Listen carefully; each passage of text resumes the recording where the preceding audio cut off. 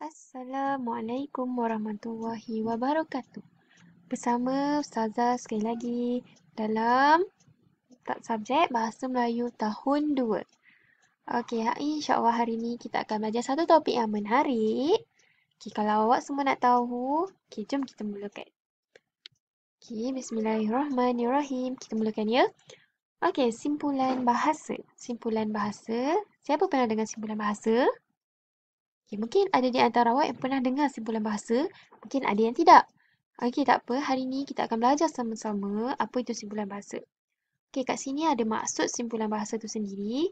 Ungkapan yang terdiri daripada dua atau tiga perkataan dan mempunyai makna yang tersendiri.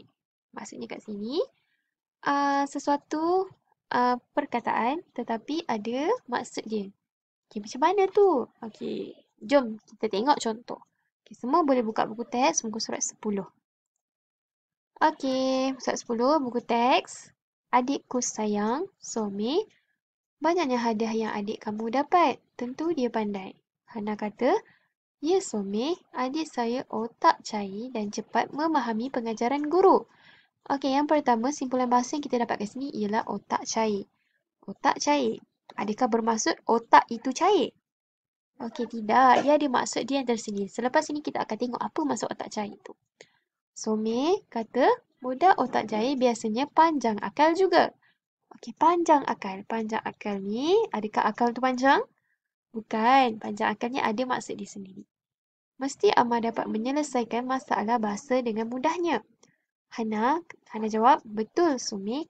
Amar bukan sahaja pandai tetapi juga ringan tulang dia suka membantu orang lain. Okey, uh, simpulan bahasa yang ketiga yang terdapat dalam teks ni ialah ringan tulang. Apa maksud ringan tulang? Selepas ini kita akan ketahui.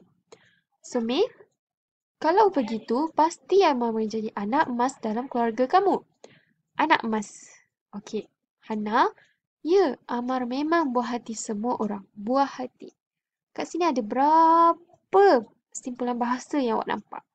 Deli, satu, otak cair. Yang kedua, panjang akal. Yang ketiga, ringan tulang. Yang keempat, anak emas. Yang kelima, buah hati. Nak tahu tak maksud dia? Okey, jom kita tengok. Yang pertama, otak cair. Maksudnya pan, pandai. Otak cair ni awak boleh gelarkan pada seseorang yang pandai. Jadi awak boleh panggil dia otak cair. Okey, yang kedua panjang akal. Panjang akal tu maksudnya cerdik. Yang ketiga, ringan tulang. Rajin.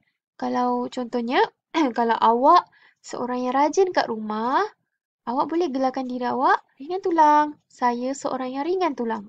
Okey, itulah simpulan bahasa yang awak boleh gambarkan pada diri awak sekiranya awak ni seorang yang rajin.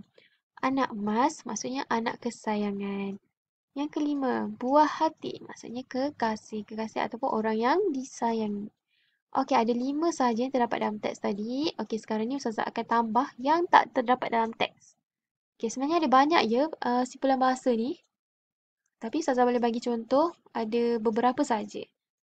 Okey, uh, ini contoh lain. Susah hati. Susah hati bermaksud risau ataupun gelisah.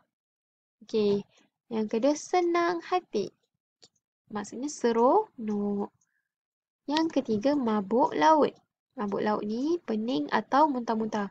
Contohnya kita boleh panggil mabuk laut ni jika seseorang tu dia naik feri ataupun bot kemudian semasa dalam perjalanan tu dia asyik pening atau muntah-muntah. Jadi kita boleh panggil dia mabuk laut.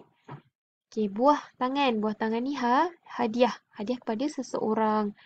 Alas perut. Makan kuantiti sikit. Alas perut ni contohnya uh, pagi-pagi awak nak pergi sekolah. Awak makan roti je. Awak makan roti dengan minum air kosong je. Ah, itu kita panggil alas perut. Maksudnya awak makan sikit je. Ha, sekadar nak bagi awak tenaga sebelum awak pergi sekolah. Itu kita panggil alas perut.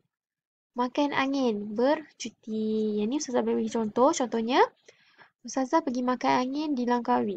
Ha, makan angin. Bukan kita makan angin tu. Tapi maksud makan angin tu ialah bercuti. Okey, itu saja simpulan bahasa yang Ustazah boleh bagi contoh. Okey, sampai di situ saja. Semoga kita berjumpa lagi. Assalamualaikum.